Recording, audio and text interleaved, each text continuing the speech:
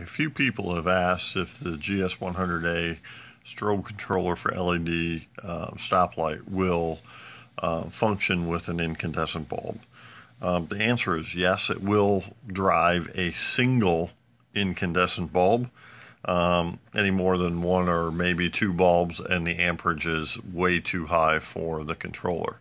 Um, the other issue with incandescent bulbs is their flash rate is not fast enough uh, for the controller, so you miss the first four quick flashes.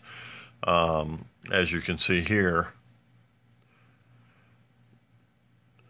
that first, the flicker from the first four flashes is, you'll see it as it starts out, it just barely lights the light and you miss those flashes. So it kind of defeats the purpose of having a uh, strobe that, that flashes really quick. On the other hand, here's the same strobe controller uh, with an LED light. You can see the four fast flashes before it starts the slow cycle.